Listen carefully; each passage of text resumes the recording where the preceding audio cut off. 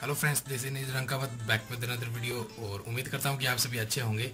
और लेके आए हूँ आपके लिए एक और वैदिक मैथ की ट्रिक जिसका नाम है मल्टीप्लिकेशन बाय सीक्वेंट नंबर अगर आपने मेरी पहली वाली video multiplication by duplex number नहीं देखी है तो आई बटन में मैं उसका लिंक दे रहा हूँ। आप सबसे पहले जाके उसे देख लीजिए।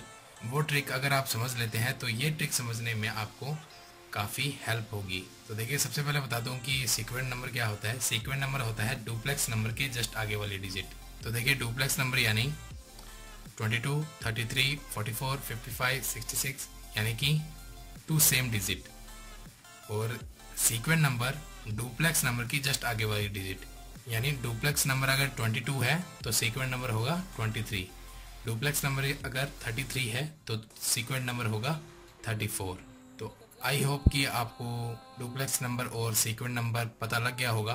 तो अभी आप जो स्क्रीन पे देख पा रहे हैं ये सभी सीक्वेंट नंबर है. तो अगर सीक्वेंट नंबर को किसी अदर डिजिट से मल्टीप्लाई करना है तो फास्टली आंसर कैसे निकालेंगे, वो देखते हैं। आपको मुश्किल लग रहा होगा, लेकिन ये बिल्कुल भी मुश्किल नहीं है, अगर आप इसकी प्रैक्टिस करते हैं। तो देखिए फॉर्मूला जो है डुप्लेक्स नंबर वाला सेम रहेगा। Number plus next number plus duplex number plus carry तो देखिए, कैसे सोल्व होगा। तो देखिए, लेते हैं एक एग्जांपल एग्जांपल है 12 मल्टीप्लाई बाय 23 यानी 12 को एक सीक्वेंट नंबर से मल्टीप्लाई करना है। तो देखिए आंसर फास्टली कैसे निकालेंगे? तो देखिए, मान लीजिए 12 को एक बार डुप्लेक्स नंबर से मल्टीप्लाई करेंगे। यानी कि 22 से मल्टीप्लाई करेंगे सेम वही मेथड से। 12 के आगे पीछे एक एक ज़ीरो और देखिए तो देखिए ज़ीरो पे वो फॉर्मूला अप्लाई नहीं होता है। तो उसके बाद में डिजिट है टू तो two plus next number next number है zero two plus zero two plus multiply by तो देखिए डुप्लेक्स नंबर है टू टू टू ज़ा फोर तो देखिए, और बाद में कैरी कोई भी नहीं है तो फोर को अपने नीचे आंसर में लिख देंगे। उसके बाद में नंबर है वन तो वन प्लस नेक्स्ट नंबर तो नेक्स्ट नंबर है two one plus two is three और multiply by duplex number three को डुप्लेक्स नंबर से मल्टीप्लाई करेंगे, यानी कि थ्री टू ज़ा सिक्स और कैरी कुछ भी नहीं है तो सिक्स भी नीचे आंसर में लिख देंगे।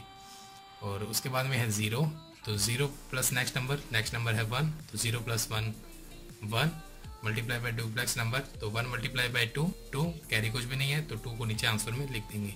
तो देखिए डुप्लेक्स नंबर से मल्टीप्लाई करने के बाद हमारे पास आंसर आया टू सिक्स फोर तो देखिए, अब सीक्वेंट नंबर का आंसर निकालने के लिए, यानी कि twelve multiply by twenty three का आंसर निकालने के लिए हमें एक सिंपल सी चीज़ यहाँ पे करनी है कि जो two six four duplex number से मल्टीप्लाई करने के बाद जो हमारे पास आंसर आया है उसमें ट्वेल्व ऐड कर देंगे। तो देखिए टू सिक्स फोर में अगर ट्वेल्व ऐड कर देते हैं तो हमारे पास आंसर आएगा टू सेवेंटी सिक्स यानी कि twelve multiply by twenty three equal to two seven six तो चलिए एक और एग्ज़ाम्पल लेते हैं। अब ध्यान से सुनिए। तो देखिए, एक और क्वेश्चन लेते हैं। Six four eight multiply by forty five यानी कि सिक्स फोर एट को एक सीक्वेंस नंबर से मल्टीप्लाई करना है। तो देखिए कैसे करेंगे।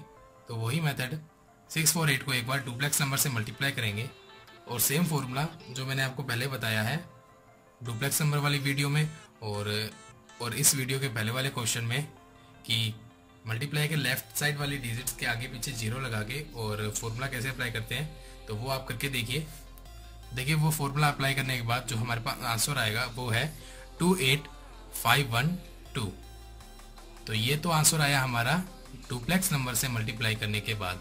सिक्स फोर एट को डुप्लेक्स नंबर से मल्टीप्लाई करने के बाद।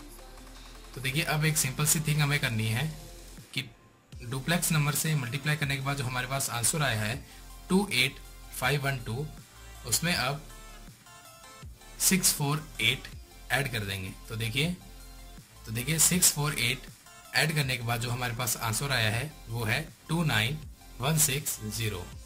तो six forty eight multiply by forty five one six zero is your correct answer तो देखिए, अगर आपको थोड़ा मुश्किल लगा है या समझ नहीं आया तो आप शुरुआत से वीडियो स्टार्ट कीजिए और दोबारा इस ट्रिक को देखिए। मैंने आपको बिल्कुल सिंपल वे से समझाने की कोशिश की है, लेकिन फिर भी अगर आपको बता रही है तो आप इन दिए गए नंबर्स पे मुझे कॉल करके और अपनी प्रॉब्लम मुझसे शेयर कर सकते हैं। और अगर आपको ये वीडियो अच्छी लगी है लाइक बटन ज़रूर दबाइए। लाइक बटन से हमें मोटिवेशन मिलती है और अच्छी वीडियोस बनाने की। और अगर आपने हमारे चैनल को अभी तक सब्सक्राइब नहीं किया है तो चैनल को सब्सक्राइब कर लीजिए और पास वाली बेल आइकन को भी दबा दीजिए, क्योंकि मैं आपके लिए ऐसे ही वीडियोस लाता रहता हूँ।